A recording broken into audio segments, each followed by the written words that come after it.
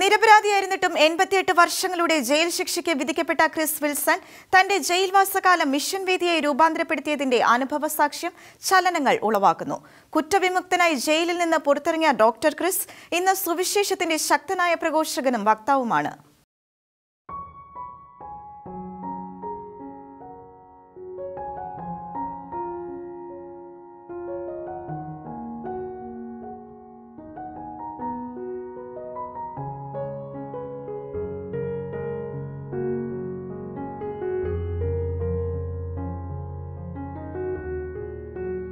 പാസ്റ്ററിന്റെ മകനായിരുന്ന Chris Wilson പതിനേഴാം വയസ്സിൽ കാറിൽ യാത്ര ചെയ്യവേ. ഒപ്പമുണ്ടായിരുന്ന സുഹൃത്തിനെ പറ്റിയ കൈയബദ്ധത്തിൽ സുഹൃത്തിന്റെ തോക്കിലെ വെടിയേറ്റ് ഒരാൾ കൊല്ലപ്പെടുകയായിരുന്നു. കൊലപാതക കുറ്റം ആരോപിക്കപ്പെട്ട് നിരപരാധിയായിരുന്ന ക്രിസും അറസ്റ്റ് ചെയ്യപ്പെടുകയും കോടതി ക്രിസിനെ എൺപത്തിയെട്ട് വർഷങ്ങളുടെ ശിക്ഷയ്ക്കും വിധിച്ചു. പാസ്റ്ററിന്റെ മകൻ എന്ന സൽപേരിലും സൽസ്വഭാവത്തിലും വളർന്ന തന്റെ യൗവനത്തിന്റെ ആരംഭദിശയിൽ നേരിട്ട അപമാനത്തിന്റെയും ദുർവിധിയുടെയും തെറ്റിദ്ധാരണയുടെയും അനുഭവത്തിൽ കഴിയവേ. ജയിലിൽ തനിക്ക് നൽകപ്പെട്ട യോഹന്നാന്റെ സുവിശേഷത്തിന്റെ പകർപ്പ് ദൈവവുമായുള്ള തന്റെ ഹൃദയത്തിന്റെ വിടവ് നികത്തിയ അനുഭവം ക്രിസ് സി ബി ന്യൂസുമായി പങ്കുവച്ചു.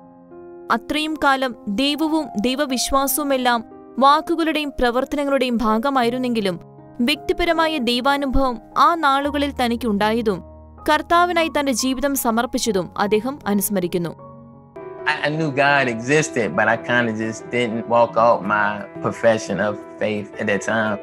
I read it, and like that same night, I, I rededicated my life to the Lord, asking God to get me out of this because I didn't do this.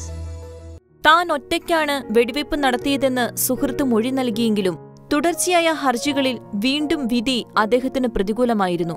സാഹചര്യം അനുകൂലമാണെങ്കിലും അല്ലെങ്കിലും സുവിശേഷം പ്രഘോഷിക്കുക എന്ന വിശുദ്ധ പൗലോസിന്റെ വാക്കുകൾ പ്രാവർത്തികമാക്കി വിർജീനിയയിലെ ഡാൽവിൽ ജയിലറയിൽ അദ്ദേഹം Bible ക്ലാസുകൾ നടത്തുകയും അദ്ദേഹത്തിലൂടെ സംഭവിച്ച ജയിൽ ജ്ഞാനസ്നാനങ്ങൾ ചരിത്രം ഭേദിച്ച നിരക്കുകളിലേക്ക് ഉയരുകയും ചെയ്തു.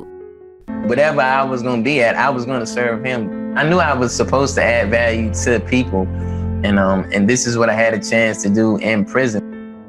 പതിനേഴ് വർഷങ്ങൾ നീണ്ട നിയമപോരാട്ട കാലയളവിൽ അന്യായമായി കഴിഞ്ഞ ജയിൽവാസത്തിൽ തനിക്ക് ധൈര്യം പകർന്ന വചനം ശാന്തമാകുക ഞാൻ ദൈവമാണെന്നറിയുക എന്നതായിരുന്നുവെന്നും അദ്ദേഹം പങ്കുവച്ചു രണ്ടായിരത്തി ഇരുപത് ഫെബ്രുവരി മൂന്നിന് കാര്യങ്ങളുടെ നിജസ്ഥിതി മനസ്സിലാക്കിയ ഗവർണർ അദ്ദേഹത്തെ കുറ്റമുക്തനാക്കുകയായിരുന്നു തന്റെ ജീവിതം ദൈവത്തിനുള്ളതാണെന്നും അവിടത്തേക്കായി ജീവിക്കുമെന്നാണ് തിയോളജിയിൽ ഡോക്ടറേറ്റ് കരസ്ഥമാക്കിയ ഡോക്ടർ ക്രിസിന് ഇന്നും പറയാനുള്ളത്.